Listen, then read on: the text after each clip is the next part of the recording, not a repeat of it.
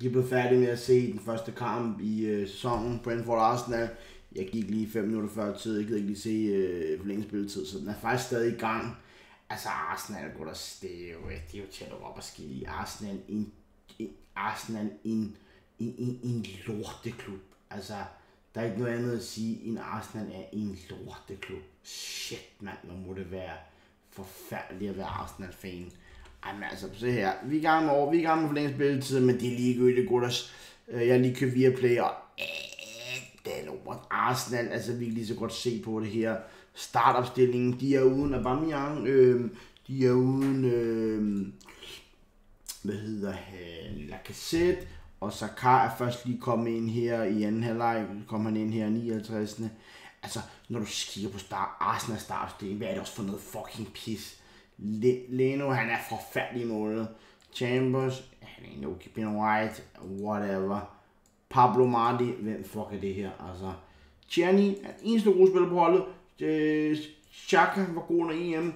Men altså, du ved, Martinelli vinder OL med, med Brasilien. Det er fuldstændig ligegyldigt. Ham han er egentlig okay. Han tænker okay om det er Smith Rowe. Han ser okay ud, du ved, middelniveau, du ved, ikke bundklub, middelniveau ser okay ud. Nela Pepe, forfærdelig møgspiller. Han har kostet dem kasse, kassen og dårlig. Folanin Barlo, hvad fanden er det her? Han er, han, han, han er hovedet til stede. Altså, kampen er slut nu 2-0. Altså, man må bare sige, at øh, når de kan Aubameyang øh, og Lacazette, altså det her, det er en, det er en joke-klub. Det er en forfærdelig klub. Skød træner, skød spillere, forfærdelig ejer. En ejer, der har kassen, en af de rigeste mænd i verden, altså, men, men, men, men kan ikke finde ud af at bruge pengene. Brentford, de er okay. Christian Nørgaard scorer en kasse. Øhm, de scorer her i Brentford i øh, første halvleg. Altså, altså, en dårlig kamp. Altså, igen, nu vil vi se EM, vi bliver vant til lidt mere lækkerhed, lidt mere storhed, med intensitet. Der var, kunne være 18.000 på stadion, det var ikke, fordi det er en super kamp. Vi må indrømme, at vi er skuffet her i overkampen. Øh, det lignede alt det mest en, en dårlig Superliga-kamp, vi vidne til her. Det var forfærdeligt at se på. Øh, men Brentford vinder. De scorer et udmærket mål, hvor den så som var ude for øh, baglinjen. Det var den så ikke. Sprang igennem forsvarsspilleren, og så scorer han til 1-0. Fin mål. Og så Nørgaard, som scorer på et, var det, en, tror, det var sgu et indkast. Ja, det var ikke engang hjørne. Det var et indkast, som bare går hele vejen igennem. Eller var det hjørne? Nej, det var sgu et indkast. Ja, det var et indkast. Det går igennem. Og så er målmanden er helt væk. Der, altså, målmanden har ikke engang, øh, Leno har ikke engang en forspiller, der dækker, og der, der, der, tager hans mand væk. Altså, da, da jeg gik til fodbold, da jeg var målmand, da jeg var 10-11 år, øh, 9 år, jamen det vigtigste var, at min, min, min, min, min centerforsvar, eller min, en anden spiller, fik ham manden, der stod foran mig væk. Han skal, han skal bare væk. Hver en pris, han skal bare væk, så jeg kan bevæge mig derude, målmanden man kan bevæge sig ud. Arsenal skandaløst og score 2-0. Altså, de har flere chancer her. Arsenal har også nogle okay chancer, men måske være det at sige, at Arsenal øh, har bolden med, som vi kan se her. Arsenal har okay chancer her, fine nok chancer, men ikke noget særligt fra Tjerni, altså. Tjerni her er okay øh, i lineups. Tjerni drengen her er okay. Og ham her, altså Tjerni, Xhaka og Smith Rowe her er okay. Martinelli, elendig møgspiller. Leno, en forfærdelig målmand. Arsenal, altså de blev nummer 8 sidste år. Vi, altså, vi kigger ikke engang i nummer 8. Vi kigger, du ved, de var også til at på slut nummer 11. Arsenal, et hold, jamen øh, igen, 12. 12. 8. plads igen. Forfærdeligt. Altså en middelhold. Stor klub, stor historie. Øhm, med en rig klub. En af verdens rigeste klubber. Øh, Henri og alle de gode drenge. Bergkamp, Vira og så videre. Altså store spillere, men en, en joke-klub at være Arsenal-fan lige nu. Altså det gør mig sgu, det gør mig sgu trist til mod. Jeg kan ikke engang glæde mig over dansk og så videre. Altså, jeg bliver sgu bare trist at se en så stor klub som Arsenal være så dårligt ledet. Forfærdelig træner, forfærdelig spillere, øh, en uprøvet træner, øh, Arteta, uprøvet træner, og en forfærdelig ejer, ham der kronkegeden, og fuck noget, jeg, jeg, jeg, jeg, han er forfærdelig. Man må bare erkende, at Arsenal er en lorteklub. Det må man bare sige. Forfærdelig møgklub. For Team Brentford. Brentford, ikke noget superhold, øh, som kommer til at dominere. De kommer til at slutte i bunden, øh, det er vi sikker på. Men det er også fint for dem, de skal bare overleve. Hvis de overlever, så må de tage den derfra. Arsenal, en joke-klub. Gider ikke at bruge mere tid på Arsenal. Altså, seriøst, mand, jeg brækker mig over. Altså, Forestil den der Arsenal-fan. Arsenal-fan og Tottenham-fan er forfærdeligt. Altså, Arsenal er ingen god spiller. Xhaka kommer ind. Ja, han kan ikke gøre alene, vel? Så videre. Øh, vi kan så tage en video her. i United øh, mod Leicester. Eller mod Leeds i morgen. Det skal det ser, tror jeg, vi streamer sammen.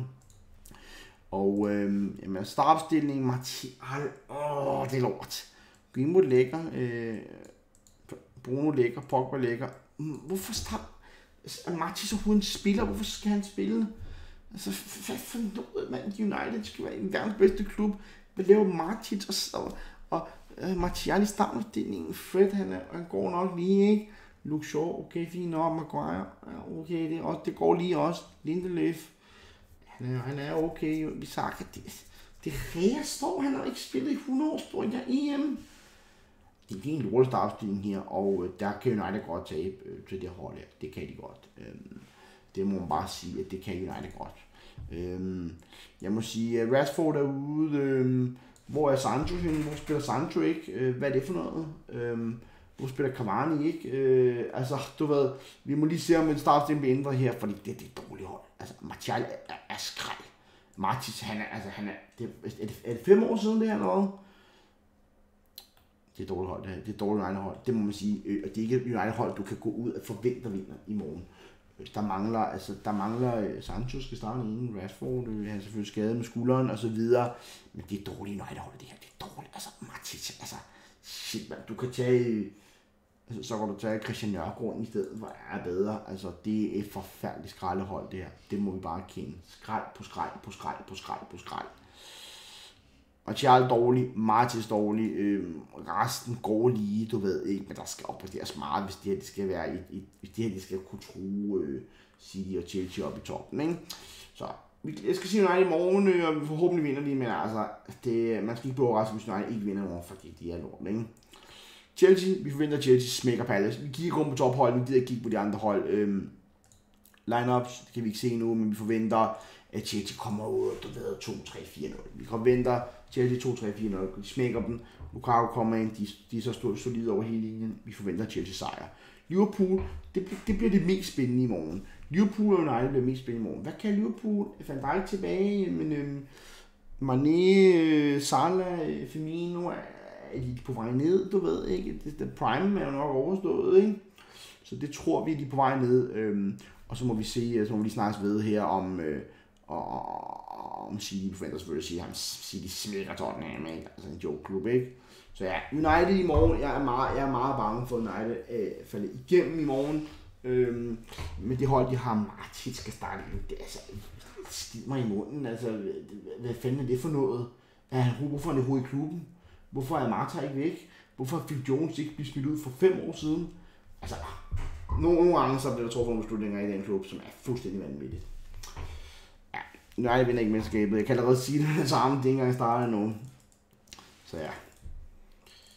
Jeg var ikke glad for at så den kamp i dag. Øh, Arsenal, Brent, Arsenal øh, Brentford. Og hvis United i morgen også er dårligt, så tror jeg, at vi er blevet opsagt allerede, for så er der ingen grund til, at vi ser det her. Vel?